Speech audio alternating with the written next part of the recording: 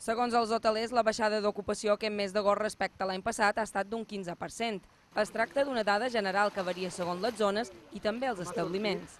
En comparació a l'agost de l'any passat amb enguany, pues, si l'any passat pues, van arrosar el 99%, enguany ens hem quedat a quasi 7 o 8 punts d'aquest 99.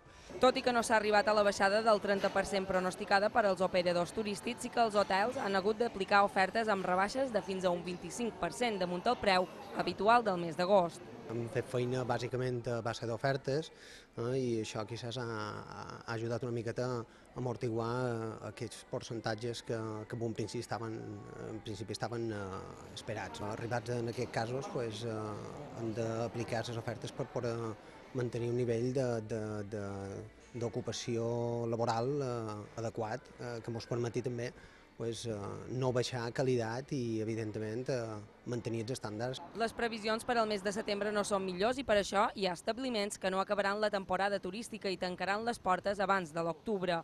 Això suposa problemes als treballadors que no podran cotitzar els mesos necessaris per poder cobrar les ajudes econòmiques.